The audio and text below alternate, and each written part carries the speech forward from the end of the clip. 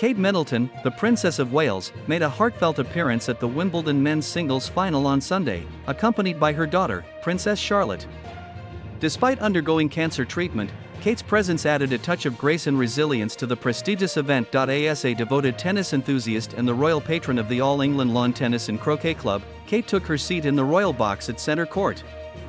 She watched intently as Carlos Alcaraz and Novak Djokovic faced off for the championship for the second consecutive year.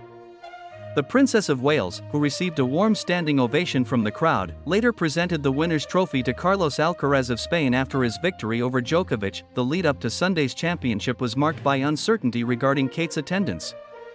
In March, she publicly announced her cancer diagnosis. Although the specific type of cancer has not been disclosed, a June update from Kensington Palace revealed that Kate was making significant progress with her chemotherapy but acknowledged she was still undergoing treatment. After keeping a low profile since her diagnosis, Kate re emerged in June at Trooping the Colour, her first public appearance since announcing her illness. Her decision to attend Wimbledon as her second public outing highlights her deep connection to the sport and the event. Kate has been a familiar face at Wimbledon for many years, showcasing her tennis skills on its grass courts and engaging with players and attendees. Since becoming the royal patron of the club in 2016, Kate has participated in various Wimbledon activities. She has attended numerous matches, joined in ball boy and girl training sessions with tennis legend Roger Federer, and had the honor of presenting championship trophies to the winners.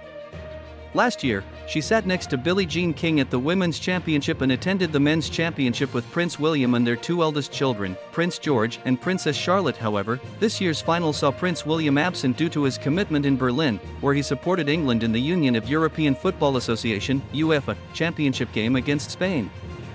As the president of the Football Association, William shared a supportive message on social media, expressing pride and encouragement for the England team. Kate's presence at Wimbledon amid her ongoing health battle is a testament to her enduring spirit and dedication. Her involvement not only uplifted the crowd but also underscored her unwavering commitment to her royal duties and personal passions, even in the face of adversity.